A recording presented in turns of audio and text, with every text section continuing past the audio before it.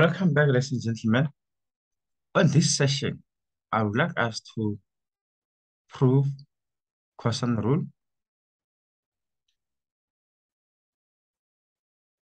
given A to be obtuse angle. By obtuse, we mean that A is an angle that is bigger than 90, but less than 180 degrees. You can see this is our A. Angle A is obtuse because it's bigger than 90, but it's less than 180.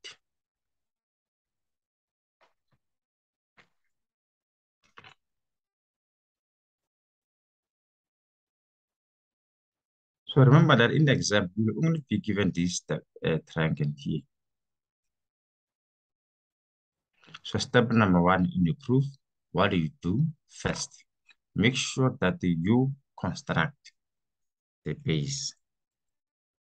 And thereafter you construct the height. You can see that the combination of the height and the base always creates the angle of 90 degrees. Very important. And then we've created a new triangle. The name of that triangle is ABD. And then we've created again another triangle. And the name of that triangle is BCD. Our proof is going to be based on those two triangles. I can label them again. ABD is the first triangle that we're going to use in our proof. And again, we're going to use B, C, D in our proof. Secondly, I would like you to see something very interesting. You can see here that we have 180 degrees minus A. The A that we're referring to is this part here. That is an A. But the whole of this angle from here up to here is 180 degrees. So when we want this angle, this smaller angle here, you must consider the bigger angle minus the small angle. By the big angle, I'm referring to 180 degrees. When I say smaller angle, I'm referring to angle A. Here we're talking about the difference between two angles. So we managed to get this angle, which is here, which is 180 degrees minus A. And the reason for us is that uh, the sum of all angles on a straight line must equal to 180 degrees. That is why we have this statement is here. And we can see that our angle A in triangle B, D, A is 180 degrees minus A. Very important. What did we say? We said this is angle A and the whole of this angle here on the straight line is 180 degrees. For us to get this angle here, we say 180 minus A to get this A. This is a concept of difference between two angles. And we've constructed the height, and then we've constructed our base. Very important. So let's proceed. When we proceed,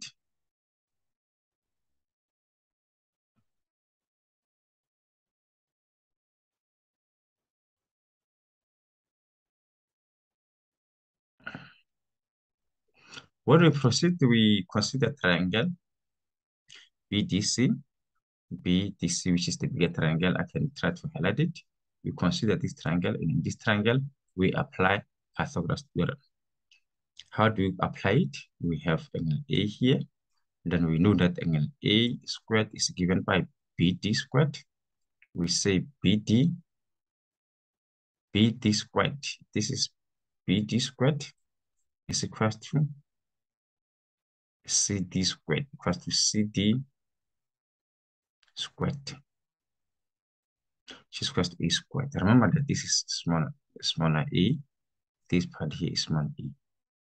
So a squared is equal to bd squared plus dc squared.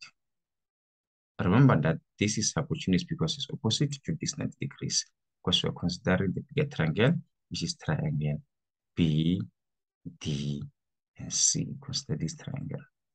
Then we apply the Pythagoras theorem. Very interesting statement. And this statement is also very interesting because we want to substitute CD by a particular distance. Look at CD. CD is a bigger distance and is made by AD plus B. I'm repeating, we say CD is made by B plus AD. That is why here, where there is CD, we substitute by B plus AD. This is the B plus AD. Both of them, when we add them, we get DC squared. We get DC. Now, when we proceed from this statement to this, I want to explain how you obtain this statement.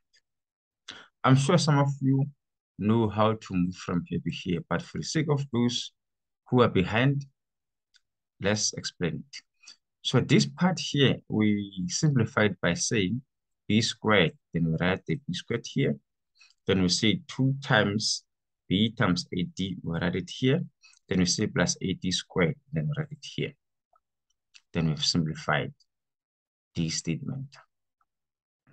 Ah, but very important, we are going to apply Pythagoras theorem on this triangle which is here. Please follow this triangle. Make sure that you see this triangle that I'm highlighting. In this triangle here, we are going to apply Pythagoras theorem. And indeed here, we do apply Pythagoras theorem because now we have this C, which is opposite to 90 degrees. It becomes our hypotenuse. Then we say C squared is equals to AD squared plus BD squared. This is the statement where it comes from. And then we give we already gave the result that is Pythagoras theorem. That's now we use this e squared here. On this equation, remember that there is e squared here. On this equation, we we are going to replace a squared combined with ad squared. We're going to replace them by c squared. I repeat, this b squared and ad squared, we replace them by c squared, both of them. You can write b, bd and ad next to each other. Then we replace them by c squared. That is why this statement becomes this one. We have a squared equals to b squared plus c squared. Plus, we still have this term here, which is 2BAD, and we can label this equation number one. So we are done investigating Pythagoras theorem on the bigger triangle and also on the smaller triangle, which is triangle A, B, D, C. Now we also go to another triangle, which is ABD. ABD. If in fact it's the same triangle, which is ABD. On this mm. triangle, we are now using the definition of cos. Remember that we said on the previous lessons, we said the definition of cos is adjacent over hypotenuse. It is here where we use the definition of cos. We now say the cos of this angle is equal to adjacent side. We call it the adjacent because that's where you start measuring angle. This is angle A. And we start measuring this angle on this side. That is why this side is called the adjacent side for this particular angle. Hence, here we have the cos of 180 degrees minus A. Adjacent side is AD divided by C. C is the hypotenuse because it's opposite to 90 degrees. I'm sure you, you get that clear, folks. Please repeat, feel free to repeat the video so that some concept can be more clear to you. When we proceed, we solve AD, and when we solve AD, we use the concept of cross multiplication. We say C times this term, we have minus C, we have C times cos A. Look at this thing here. We have cos A here instead of 180 minus. Remember this, 180 minus a is in the second quadrant, and in the second quadrant, cos is negative. That is why here we have negative. Then the cos of a, then we write this a here as this. Let's repeat this point because it's very important. From grade 11, we know that 180 minus a represent the second quadrant. And in the second quadrant, the cos is always negative. That is why we have negative here. Then we take the cos of A. And we label this equation number two. What is orientation? Orientation is to replace AD by minus C, the cos of A. And from there, we are done with our proof. Let me show you something here on this step. Uh, quickly, let me take the pen. Ladies and gentlemen, look at this thing very careful. You have two equations, equation one and equation two. So you want to proceed. When you proceed, you, you substitute AD by minus C cos of A. That is why here we have minus C cos of A. This minus is this one here. And C cos A is this C cos A here. And then here is what we have. Let me clear this through, see, and take the pen. Okay, so now look at this. After substituting equation 2 to equation 1, we obtain this equation. And indeed, this is the proof of cosine rule. If you are required to prove that b squared is equal to e squared plus c squared minus 2ac cos of b, c squared equals to e squared plus b squared minus 2a the cos of b, if you're required to prove these two things, after this statement, we're going to say similarly. You're going to say similarly, and then you write this thing down. Or you say similarly, then you write this, thing, this statement down. So similarly means using the same method, same reasoning, and same procedure, we can get the other equations. Thank you very much, uh, folks, for watching.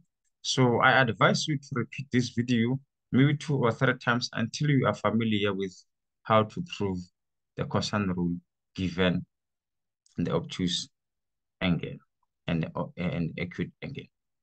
And I would like to thank you again for watching this video. And let's meet again in the next session.